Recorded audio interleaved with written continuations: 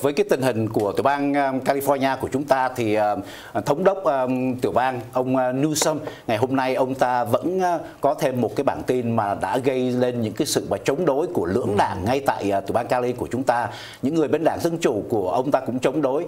tại vì ông ta đã đề nghị thêm 3 tỷ Mỹ Kim tiền viện trợ của liên bang để mà phản ứng với cái vấn đề mà vi khuẩn Vũ Hán nó gây ra ừ. trong tiểu bang Cali của chúng ta. Tuy nhiên bên cạnh đó thì như quý vị đã biết ông ta đã đồng thuận để mà chi ra một số tiền lớn để mà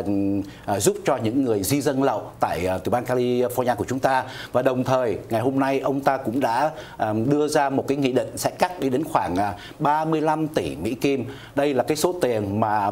chính phủ liên bang họ giúp cho tiểu bang, tiểu bang cũng đưa ra một số tiền tương đương như vậy và liên bang họ cho một số tiền tương đương như vậy là cỡ khoảng 35 triệu Mỹ Kim để giúp cho những người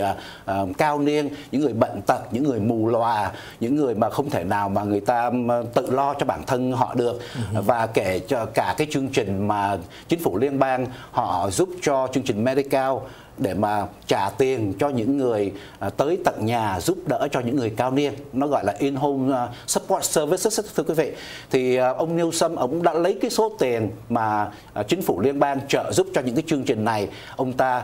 cất đi để làm cho những cái chương trình nào khác. Ông nói là để dành mà giúp cho cái sự mà thâm thâm thủng ngân sách của tiểu bang. Thì những cái tổ chức mà họ chống lại, họ bảo vệ cho những cái người mà lớn tuổi, những người bệnh tật như thế này thì họ nói đây là một cái việc làm mà phạm pháp. À, tại vì ông Newsom như là ông đã ăn cướp ông có ông có ờ, có giấy phép để mà ăn cướp cái số tiền này của những người mà bệnh hoạn nhất. Và, và cái số tiền này là số tiền của liên bang. Họ gửi xuống để giúp cho những người này. Thì tiểu bang đây là những cái người mà tiểu bang phải giúp trước tiên và ngược lại họ không giúp mà họ lại lấy luôn cái số tiền này của những người mà um, khó khăn như vậy. Thì cái điều này cũng làm cho uh, rất nhiều những cái tổ chức họ uh, chống đối. Họ nói đây là một cái hành động mà um, thống đốc đã lạm quyền thưa quý vị. Và cũng giống như lúc nãy chúng tôi đã loan báo thì um, bộ tư pháp của liên bang họ đã gửi đến những cái lời cảnh cáo một cái bức thư đến cho thống đốc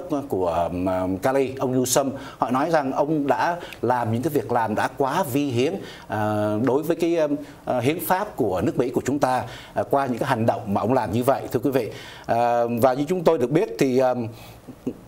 à, cái lý do mà những người mà họ nghiên cứu họ nói rằng tại sao à, chính quyền của tiểu bang Cali họ có thể họ lấy tiền của những người nghèo khổ này nhất như vậy thì à, họ nghĩ rằng tại vì cái số người này là những người nào không giúp đỡ được cho ông Newsom trong cái sự việc mà tranh cử họ không có được à, như là các tổ chức à, du nhân đứng đằng ừ. sau để mà ủng hộ cho họ họ không có những người lobbyist đi lên ngay DC để mà à, tranh đấu cho họ ừ. hoặc là họ cũng không có những cái đại công ty nào đó để mà giúp đỡ cho họ, cho nên là họ là những người mà dễ bị tổn thương nhất và dễ nhất để mà bị chèn ép và lấy đi những cái cái phúc lợi của họ để để cho mà chính quyền của tiểu bang làm vào những cái việc khác, thưa quý vị.